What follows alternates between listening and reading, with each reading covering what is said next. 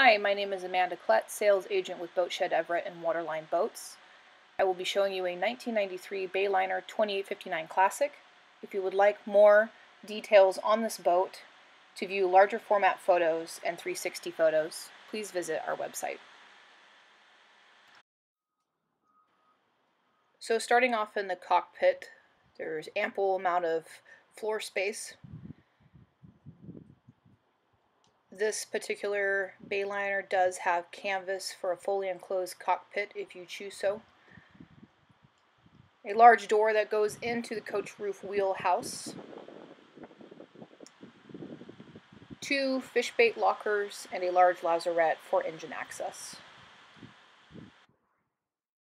Stepping into the wheelhouse, the main helm is situated on the starboard side with easy access to your navigation and safety equipment along with your electronics. Full 360 degree views and a small dinette and seating area off to the port.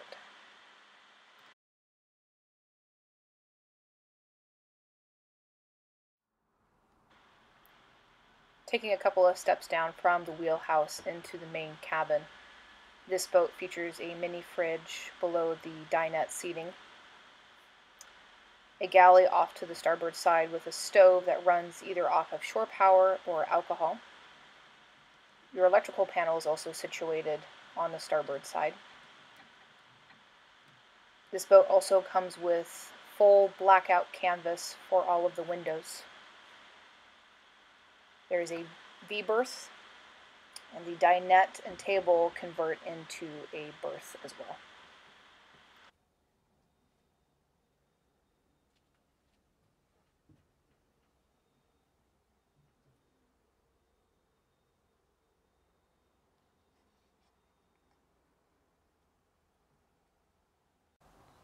So as you step down from the wheelhouse into the main cabin, just off the port side is the master cabin stateroom.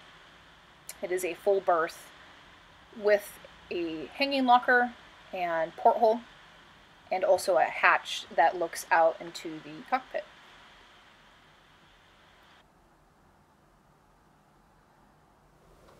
Adjacent from the master cabin on the starboard side is the main head. This boat features a access hatch to the back side of your helm for easy electrical maintenance.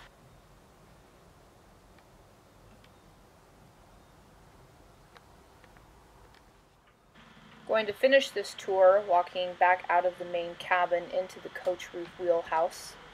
And again, you'll see you have clear visibility from stern to bow and on your port and starboard sides.